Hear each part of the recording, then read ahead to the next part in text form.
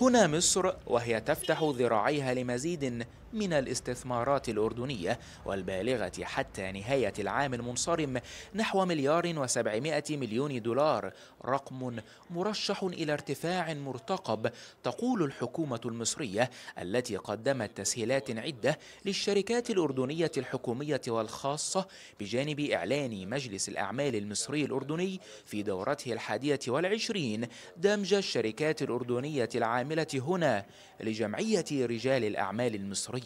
الخطة بتاعتنا إنه الزيادة في حدود 15% المساعي اللي بتبذل في هذا الأمر إنه بن بنشارك في المعارض اللي بتقام في الأردن بندعو أشقائنا من الأردن إن هم يحضروا. هنالك اتفاقيات تربط الأردن مع كثير من الدول منها اتفاقية التجارة الحرة مع الولايات المتحدة الأمريكية ومع كندا.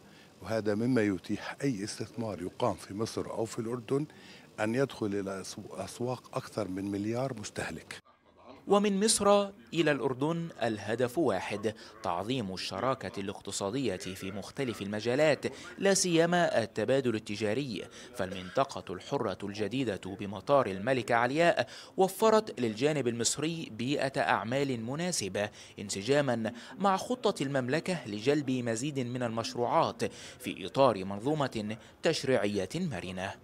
حجم التبادل التجاري هناك في 2018 العام الماضي ارتفعت بنسبة 20% وهذا رقم مبشر ومشجع. اليوم نحن نعمل مع الفريق في السفارة من أجل أمرين زيادة الصادرات الأردنية إلى مصر وأيضا إلى جذب الاستثمارات المصرية إلى إلى الأردن.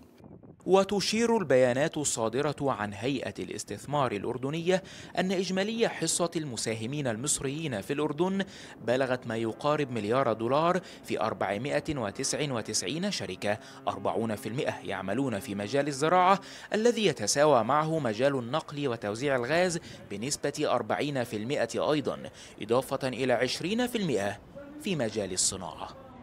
مسيرة تعاون لا حدود لها. هكذا يمكن وصف العلاقات المصرية الأردنية. ليس هذا تعبيرا بلاغيا. فالزخم الهائل في مختلف المجالات. يؤكد دون أدنى شك أن البلدين يسيران نحو مزيد من التنمية والنمو. وبأعلى المعدلات إسلام أبو المجد المملكة القاهرة.